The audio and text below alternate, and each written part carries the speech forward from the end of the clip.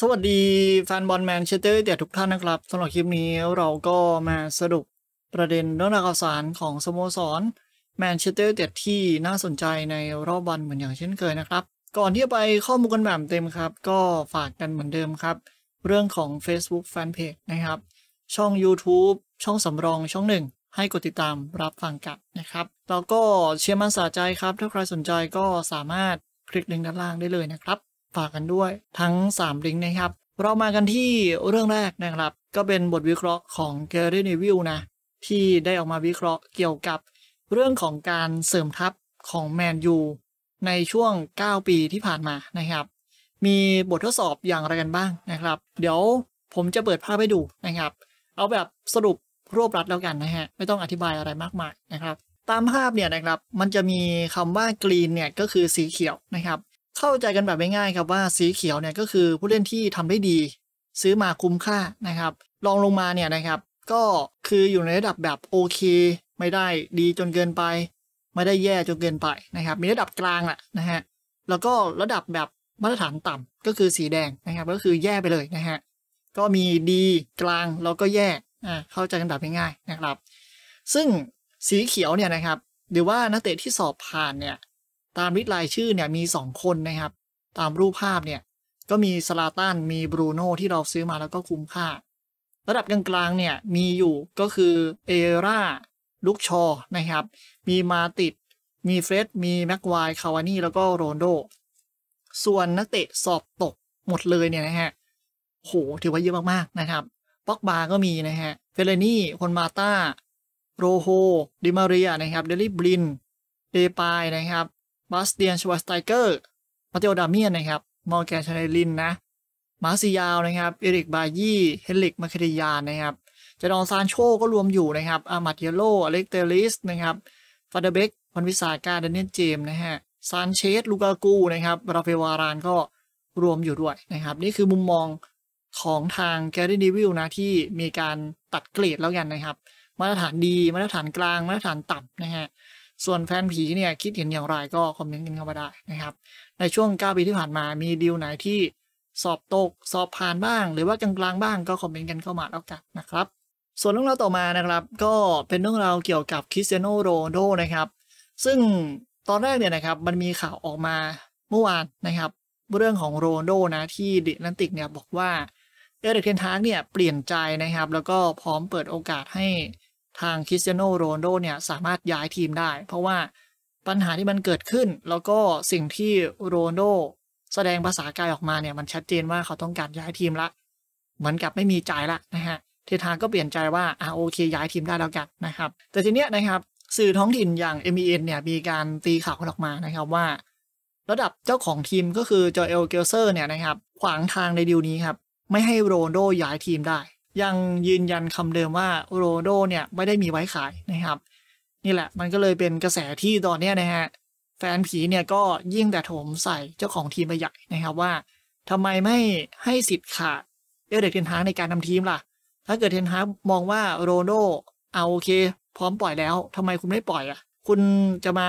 แทรกแซงเกี่ยวกับการตัดสินใจทำไมนะครับ ทีนี้นะครับมันก็มีกระแสหนึ่งที่มีการเล่นข่าวกันออกมานะฮะซึ่ง ในส่วนของทางพี่โดเราเนี่ยนะครับ ก็มีความหวังนะครับ หรือว่ามีการคาดหวังว่าเอ่อทางตัวของเขาเองแล้วก็ทางสโมสรเนี่ยจะมีการคุยกัน แล้วก็มีการฉีกสัญญา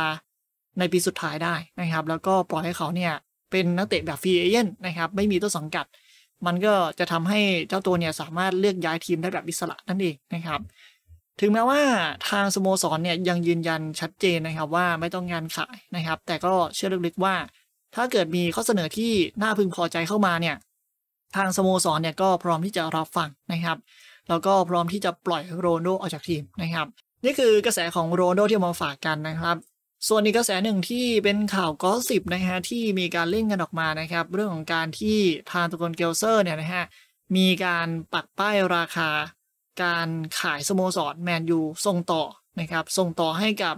ไม่ว่าจะเป็นนายทุนไหนก็ตามแหละรวมไปถึงนายทุนเหล่านั้นเนี่ยอยากเทคโอเวอร์สโมสรแมนยูเนี่ยนะครับก็สามารถเข้ามาได้ แต่ว่าเงินดังกล่าวที่ Daily Express เนี่ยมีการเคาะกันออกมาที่ตระกูลเกลเซอร์เคาะกันเอาไว้เนี่ยปักป้ายกันเอาไว้เนี่ยอยู่ที่ประมาณ 4,000 ล้านปอนด์ครับ ซึ่งแน่นอนครับว่ามันสูงเวอร์จนเกินไปอะนะครับคือการตั้งราคาแบบนี้มันก็เป็นการชัดเจนแหละว่าเจ้าตัวเนี่ยไม่พร้อมขายอยู่แล้วนะครับ เจ้าของทีมไม่พร้อมขายอยู่แล้วอะมันเวอร์เกินไปนะครับ4,000ล้านปอนด์เนี่ยนะฮะมันเยอะจริง ๆ นะครับทำให้เจ้าของธุรกิจหรือว่าคนที่เป็นมหาเศรษฐีเนี่ยเห็นสิ่งนี้นะครับ มันก็ต้องคิดหนักเป็นธรรมดานะครับ สุดท้ายเนี่ยมันก็วกมาวนลูปเดิมนะครับ ก็คือไม่ได้มีความตั้งใจที่จะขายอยู่แล้วตั้งแต่แรกนะครับ ก็ยังเกาะอยู่นะครับ ยังเกาะสโมสรต่อไปนะฮะแต่ว่ากระแสแฟนบอลเนี่ยเริ่มที่จะร้อนแรงขึ้นแบบเรื่อยๆนะครับเอาเป็นว่ารอรับชมก่อนเกมพบกับลิเวอร์พูลครับ คาดกันว่าน่าจะมีการประท้วงเดือดอีกครั้งหนึ่งนะครับ จะมีผลกระทบมากน้อยแค่ไหนก็รอติดตามกันนะครับขณะที่เรื่องภายในทีมกันบ้างนะครับ ก็มีกระแสเข้ามาพูดถึงการเพิ่มเติมแล้วกันนะครับ หลังจากที่เราเนี่ยแพ้เบรนท์ฟอร์ดนะฮะทางเอริกเทนฮากเนี่ยก็ได้มีการเรียกนักเตะมาฝึกซ้อมพิเศษเพิ่มเติมกันไปนะครับ เพื่อเป็นการแก้ไขปัญหาที่มันเกิดขึ้น ในช่วง 2 เกมที่ผ่านมานะครับ เป็นการเน้นย้ำถึงกฎระเบียบ เป็นการ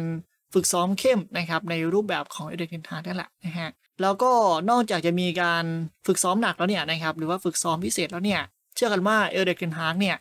ยังได้มีการพูดเตือนสติลูกทีมนะครับในระหว่างการเรียกมาลงซ้อมพิเศษนั่นแหละ ก็คืออยากให้นักเตะเนี่ยนะครับลืมความผิดพลาดในช่วงเกมที่ผ่านมา เอาความโศกเศร้าเนี่ยทิ้งไป แล้วก็เดินหน้าต่อไปในเกมถัดไปนะครับทำให้มันดีขึ้นเท่านั้นเองนะครับ ซึ่งจะไปคิดถึงมันเนี่ยมันก็แก้ไขอะไรไม่ได้แล้วนะครับ เพราะว่าเกมมันจบไปแล้วเกมระหว่างเบนฟอร์ดหรือว่าเกมพบกับไบรตันในช่วง 2 เกมแรกเนี่ยนะครับย้อนเวลากลับไปไม่ได้นะครับ เพราะฉะนั้นเราต้องเดินไปข้างหน้า นั่นคือสิ่งที่ทางเอริกเทนฮากเนี่ยเน้นย้ำลูกทีมว่าต้องเดินหน้ากันต่อไป ต้องแก้ไขกันต่อไปนะครับนะแล้วก็เรื่องของการเสริมทัพในตำแหน่งแนวรุกเนี่ยนะครับ ข้อมูลจาก Daily Mail เนี่ยนะฮะมีการระบุกันออกมาครับว่าแมนยูเนี่ยอาจจะแป้กอีก 2 ดีลนะครับ ที่แมนยูเล็งกันเอาไว้อยู่นะครับ นั่นก็คือคาลายซิชนะฮะซาซ่าคาลายซิชศูนย์หน้าของทางสตุ๊ตการ์ทที่นักเตะเนี่ยพร้อมย้ายมาแต่ว่าแมนยูก็ยังแบบไม่ได้แบบมีการเจรจาแบบเป็นจริงเป็นจัง แล้วก็เรื่องของเม็ดเงินเนี่ยแมนยูก็ดูเหมือนว่าจะไม่พร้อมจ่ายในราคาประมาณนั้นด้วยนะครับ หรือว่าอะไรก็ตามแต่แหละอาจจะเป็นเรื่องของเม็ดเงินนะ ตามแหล่งข่าวที่มีการระบุกันออกมานะครับคลาสิสเนี่ยนะฮะก็ดูเหมือนจะง่ายนะครับ แต่ว่าแมนยูก็ทำให้เป็นเรื่องยากไปแล้วนะฮะแล้วก็มีโอกาสที่จะแป๊กค่อนข้างสูงนะครับ ซึ่งว่ากันว่าจริง ๆ แล้วเนี่ยทางแมนยูก็ติดต่อเอเย่นไปพูดคุยแบบเบื้องต้นไปละแต่ว่าก็ยังไม่ลงล็อกกันอีก ยังไม่สามารถตกลงกันได้อีกนะครับ ส่วนรายล่าสุดเนี่ยนะฮะก็เป็นมาทิอุสคุนย่านะครับ ก็เป็นศูนย์หน้าหรือว่าตัวรุกของทางแอดมาริดนะฮะก็เป็นอีกหนึ่งรายที่แมนยูติดต่อเอเย่นเบื้องต้นไปแล้วนะครับ แต่ว่าสุดท้ายเนี่ยก็น่าจะเป็นดีลที่แปกกันไปอีกรายหนึ่งนะครับ เป็นรายที่ 2 ในช่วงไม่กี่วันที่ผ่านมานะครับ ก็เอาเป็นว่าเรื่องของแนวรุกเนี่ยนะฮะแมนยูสนใจใครตอนนี้มักจะแป๊กเป็นประจำนะครับแอนโทนีเนี่ยที่หลายๆคนเชียร์เนี่ยนะครับ ตามกระแสข่าวล่าสุดก็คือแมนยูถอยหลังแล้วนะครับ เพราะว่าเรื่องของเม็ดเงินนั่นแหละมันสูงเกินไปนะฮะ แล้วก็อีกหลายคนเนาะที่แปกกันมาก่อนหน้านั้นนะครับ แล้วก็มี 2 รายนี้นับไปด้วยนะครับ ก็ไม่รู้ว่าจะมีการแก้ไขเรื่องของข้อเสนอไหมหรือว่าเข้าไปคุยกันอีกรอบหนึ่งหรือเปล่านะครับว่าตอนนี้อีกอย่างหนึ่งเนี่ยจะทำอะไรต้องรีบทำนะครับ ตลาดใกล้ที่จะปิดแล้วนะฮะแล้วก็อีกกระแสหนึ่งอย่างโรมาโน่เนี่ยนะครับก็รายงานคล้ายกันนะครับ ก็คือจริงๆเนี่ยตัวแทนของคุนญ่าเนี่ยได้มีการพูดคุยกับทางแมนยูแล้วก็ทางฝั่งของนักเตะแล้วก็รวมถึงแอตมาดริดเรียบร้อยนะครับ แต่ว่าเป็นที่เข้าใจกันว่าเรื่องของค่าธรรมเนียมเนี่ย ทางแอตมาดริดก็เคาะไว้พอสมควรนะประมาณ 50 ล้านยูโรนะครับสิ่งสำคัญก็คือนักเตะเนี่ยยังคง happy กับการอยู่กับทางแอตมาดริดนะครับ แต่ว่าแมนยูก็พยายามแบบโน้มน้าว แล้วก็ชื่นชมชื่นชอบเป็นอย่างมากนะครับ ตอนนี้ยังไม่ได้แบบมีการเจรจาขั้นสูง หรือว่ามีกำหนดการที่จะมีการปิดดีลกันเร็วๆนี้นะฮะก็คือยังอีกไกลนะครับ เกี่ยวกับดีลนี้นะ ถึงแม้ว่าจะร้อนแรงในช่วง วันนี้หรือว่า 2 วันที่ผ่านมานะครับ ซึ่งถ้าเกิดไปรวบรวมกระแสข่าวของคุนญ่ากับสื่อดังๆ ในสเปนหลาย ๆ สื่อเนี่ยนะครับ รายงานตอนนี้ในทิศทางเดียวกันก็คือมันยังเป็นดีลที่ยากอยู่นะครับ มันยังห่างไกลอยู่นะ ในดีลของคุนญ่ากับแมนยูเนี่ยนะฮะก็ต้องรอลุ้นกันต่อไปนะครับ ส่วนดีลที่มองกันว่าเป็น panic buy เนี่ยนะฮะก็คือดีลของเจมี่วาร์ดี้ครับ อยู่ดีๆเนี่ย The Athletic รายงานกันออกมาครับว่าแมนยูเนี่ยกำลังพิจารณาการคว้าตัวเจมี่วาร์ดี้ครับ หัวหอกมากประสบการณ์ของทางเลสเตอร์วัย 35 ปีนะครับ ซึ่งทีเนี้ยทำให้แฟนผีก็หลาย ๆ ส่วนก็มองว่าไม่เห็นด้วยสักเท่าไหร่นะครับ บางส่วนก็มองว่าถ้าเกิดเอามาเป็นตัว rotation ตัว backup เนี่ยมันก็น่าสนใจอยู่นะฮะแต่ก็อย่างที่บอกกันไปครับ ด้วยวัย 35 ปีเนี่ยแมนยูซื้อแบบนี้อีกแล้วนะครับ มันก็มีการบ่นกันค่อนข้างเยอะเหมือนกันนะครับ ซึ่งรายงานเพิ่มเติมก็คือแมนยูกำลังติดตามสถานการณ์ของเจมี่วาร์ดี้อย่างใกล้ชิดนะครับ เกี่ยวกับสัญญาว่าเจ้าตัวเนี่ยจะอยู่กับทางเลสเตอร์ต่อไปไหมนะครับ ถ้าเกิดไม่อยู่ต่อไปก็อาจจะเข้าไปสอบถามเข้าไปติดต่อก็ได้นะครับ ส่วนศูนย์หน้าหนึ่งรายครับที่กลับมามีข่าวแมนยูอีกครั้งหนึ่งนะครับ ตามรายงานจาก MEN เนี่ยมีการระบุว่าแมนยูเนี่ยกำลังพิจารณาเรื่องการย้ายมุสซ่าเดมเบเล่ศูนย์หน้าของทางลียงนะครับ ซึ่งว่ากันว่าตอนเนี้ย ทางสโมสรเนี่ยยังคงมีการติดต่อกับทางตัวแทนของผู้เล่นแบบต่อเนื่องนะครับ ติดตามมานานแล้วนะครับ ติดต่อมานานแล้วด้วยนะฮะแล้วก็ให้ความสนใจมาประมาณ 2 ปีหลังเนี่ยนะฮะเห็นข่าวว่ามุสซ่าเดมเบเล่กับแมนยูเนี่ยบ่อยบ่อยครั้งมากนะครับนะก็รอติดตามกันนะครับส่วนในดีลของเฟรงกี้เดอยองเนี่ยนะครับก็มีบทวิเคราะห์จาก Sky Sports นะครับหรือว่าข้อมูลจาก Sky Sports นะฮะมีการระบุกันออกมาครับว่า ตอนเนี้ย แมนยูเนี่ยได้มีการถอนข้อเสนออย่างเป็นทางการจากบาร์เซโลนาแล้วนะครับ ซึ่งดีลนี้มันมีกำหนดเส้นตายของแมนยูเอาไว้นะครับ แล้วก็แมนยูเนี่ยมองว่ามันเลยกำหนดเส้นตายละ มันยื้อมานานเรื้อรังมานานเกี่ยวกับดีลนี้มันไม่จบสักทีนะครับจนสุดท้ายเนี่ยแมนยูก็ไม่ทนละนะครับ แล้วก็พวกเขาตัดสินใจว่าก็ถอนตัวดีกว่าก่อนที่ตลาดจะปิดตัวลงนะครับ รวมถึงเรื่องของแพ็กเกจต่างๆ ที่ตกลงกับทางนักเตะเอาไว้ครับ ก็ ถอนหมดเลยครับเกี่ยวกับดีลนี้นะฮะน่าจะไม่เอาแล้วนะครับ เพราะว่ามันยืมมานานพอสมควรก็อาจจะต้องมีการเปลี่ยนไปให้ความสนใจนักเตะรายอื่นนะครับ ก็สิ่งนี้จริง ๆ แฟนผีก็พูดกันมาค่อนข้างเยอะแล้วเนาะนะครับว่า ถ้าเกิดแบบมันไม่ชัดเจนสักทีก็ต้องมูฟออนแหละนะครับ มันนานเกินไปแล้วนะครับ เกี่ยวกับดีลนี้ถามว่าเอ่อตามกระแสเนี่ยก็คือเทนฮากเนี่ยอยากได้นะครับ เทนฮากก็ทำเต็มที่แล้วแหละพยายามโน้มน้าวพยายามเกลี้ยกล่อมเฟนกี้เดยองทั้งเรื่องของการพูดคุยส่วนตัวทั้งแบบ โน้มน้าวว่าเฮ้ยเข้ามาร่วมทีมแมนยูมาสร้างทีมด้วยกันนู่นนี่นั่นนะครับการันตีตำแหน่งนู่นนี่นั่นให้ แต่ว่าสุดท้ายเนี่ยมันก็ยังวนอยู่ที่เดิมก็คือเดยองไม่สามารถให้คำตอบได้นะฮะก็เลยทำให้มันก็เป็นดีลที่ค้างคามา 2 เดือนกว่าๆนะครับแล้วก็สุดท้ายก็ต้องจำใจยอมถอยนะฮะเทนฮากต้องการแหละแต่ว่ามันต้องจำใจยอมถอยนะฮะถ้าเกิดไม่รีบถอยเนี่ยเราก็อาจจะไม่ได้มิดฟิลด์รายใหม่เข้ามาเพิ่มเติมนะฮะก็ยังวนเวียนกับดีลเดยองเสียเวลามันไป เรื่อยๆแบบนี้มันก็ไม่ถูกต้องนะครับขณะเดียวกันครับสถานการณ์ของทางมาร์คัส แรชฟอร์ดเนี่ยทางสโมสรเนี่ยก็กำลังรอดูเปแอสเชอยู่นะครับว่าจะมีการเจรจาหรือว่ามีการพูดคุยอะไรอย่างไรนะครับ ซึ่งมีการยืนยันว่าในช่วงสัปดาห์ที่ผ่านมาเนี่ยนะฮะ